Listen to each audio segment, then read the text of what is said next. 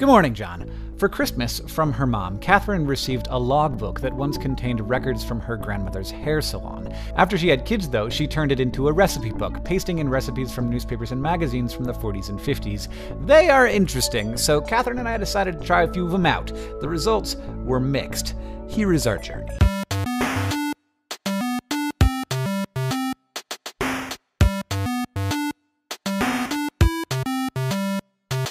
Recipe 1 Golden Rabbit. You make it with two Campbell's soups. Stir well one can Campbell's cheddar cheese soup. Gradually blend in one can Campbell's tomato soup. Add one quarter cup milk. Heat, stirring. Pour over crackers or toast. Mmm, good. Bland. Yeah, it's not a lot of flavor. I have injured myself. I got too excited about my golden rabbit. Doesn't it look like a golden rabbit? This is not on the list of things that I want to eat again. The predominant flavor is crackers. Well, I do like crackers. It grows on you. You're still hungry? Just add more crackers. Serve it with half a raw potato. Recipe number two popovers. In a bowl, dump one cup unsifted flour, one half teaspoon salt, two eggs. Just break them over the bowl and drop them in so they're staring at you with their big yellow eyes. One cup milk. Beat this with an egg beater till it's just mixed. Now fill the cups half full and set the cookie sheet in the 450 degree oven. You will have six splendid popovers so golden brown and exuberantly puffed up that it's almost embarrassing. I kind of burned them. Yeah. You know, tastes like bread. Oh, Northern biscuit. I'm down with this. Yeah, I'd like to try them again. Hole in the middle? A hole in the middle. I don't know why it's got a hole in the middle. How?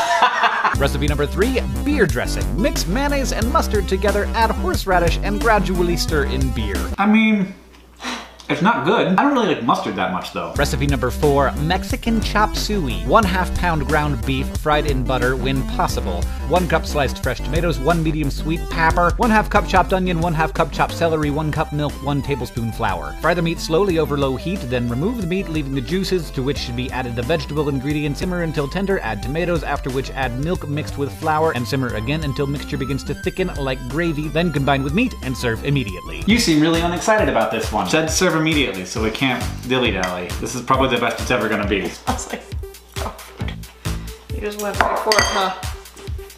I have a suggestion for improving it. Huge amounts of salt. I'm gonna eat more. It- it's so much better. Right now you're wasting salt. I maybe oversalted mine. Yeah, you really went to town on it. Catherine, if you were gonna name this dish, what would you call it? Obviously it is inspired both by Chinese food and Mexican food. Mm. What? No, it look it's like a Cleveland chowder. Recipe number five orange cranberry relish mold. Dissolve gelatin in boiling water, add orange juice, and chill until consistency of unbeaten egg white. Cut orange in quarters, remove seeds, and put through a food chopper. Add ground orange, cranberry sauce, celery, and nuts to gelatin mixture, and turn into a one quart mold. Chill until firm, unmold to serve. Oh no! it's like a colon. oh, it's like coming across just some sand in your food. Do not serve your friends or family this. Why does Jello even still exist? Oh. This is what you get if I- you're in prison, high school, or the hospital. Like, where else does anyone have Jello? What have we learned about 50s food, Catherine? Would you rather live today? Oh yeah. But I think that there may be there, there may be some wisdom.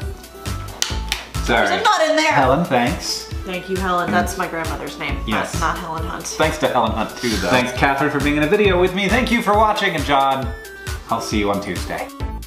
You got a lot of cleaning up to do, babe. Have fun. I'm gonna go sit on the couch.